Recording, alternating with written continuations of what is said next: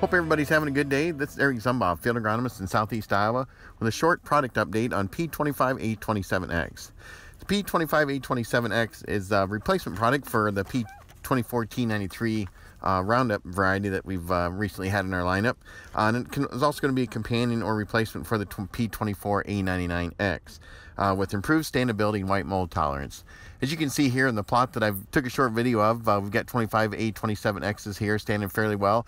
Uh, and beside it, we've got the 24A99X. Uh, so you can see that improved uh, standability that we get with the P24 or the P25A27X, and also too the improved uh, white mold tolerance over the uh, P24A99X. So a very uh, solid product in our lineup. We look forward to uh, bringing this to the market.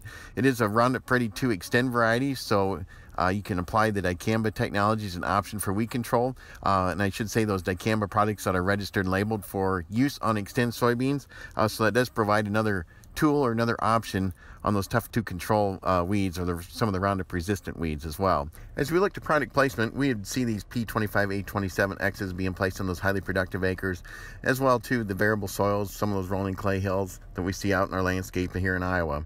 It is highly suitable for drought prone soils. You can see some of those other uh, suitabilities for the key environments that we'd recommend this product being placed in. But all in all, when you look at the trait scores of this particular product with the Phytophthora gene, the 1K gene, moderate tolerance to brown stem rot, solid above average score for sudden death syndrome, as well as the PI88788 source resistance, we certainly see this product being placed on many acres, many soils across the state in a well-rounded 2.5 maturity soybean variety.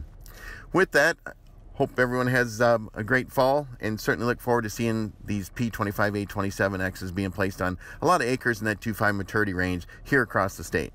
Thanks for your time. That concludes this Pioneer Growing Point Agronomy video podcast. Visit our page on pioneer.com and follow us on Twitter and Facebook for more agronomy insights.